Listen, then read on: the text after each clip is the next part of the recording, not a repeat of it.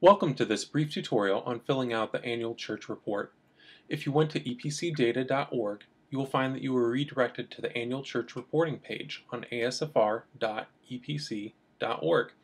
If you ever find yourself on another page on asfr.epc.org, you can get to this page by clicking on the annual church report on the menu on the left-hand side of the page.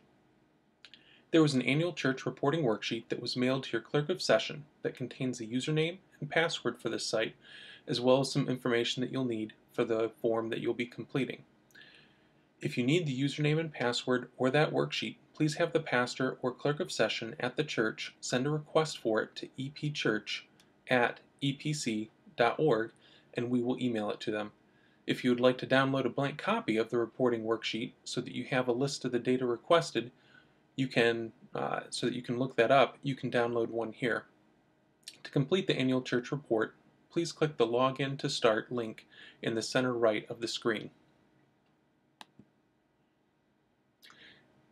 Using the username and password that was given to you, please log in. You'll notice that there are several tabs or sections of information requested in the annual church report, and that the current tab that you're on will be highlighted. To fill in the fields, simply click in the field and type in your response. Or, some of the questions have a drop down so you can select what you need to. When entering financial information, please round to the nearest whole dollar and enter your response without dollar signs, decimals, or commas. If you have any questions about a field or a form, you can find additional information by hovering over the question mark next to the field.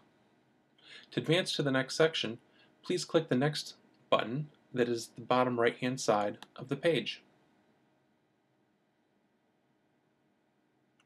If you ever need to leave a form and come back to it, please click the Save and Exit without submitting at the bottom. That way it saved the previous information you've already put in. When you log back into the annual church report page, you'll see that you have already started a form and that you can resume it by clicking Resume. Now, if you had just the program information section left to complete, you can advance to that tab by clicking on the name of the tab. You can fill out the rest of the information, and then we'll click Next. This gives us some information about personnel that will be contacted later on uh, to get an updated census of church personnel so that the EPC can communicate out effectively to those groups and then click Review and Submit. You'll be able to review the information that you are submitting. If you need to make any changes, you can use the tab to up at the top to go back to that page, make the changes, and then we'll click the Submit button to submit the form. Once you have submitted a form, you cannot edit it, which is why you should use the Save button if you want to save your progress and come back to it. If you've submitted a form, you can click the link to view the PDF with your responses for the annual church report. If you have any corrections that need to be made after you have submitted it, please email those corrections to epchurch at epc.org and we'll take care of that. If you have any questions, please click on the Contact Us for a link of relevant contacts. If you have technical questions with the website, please contact Jeff.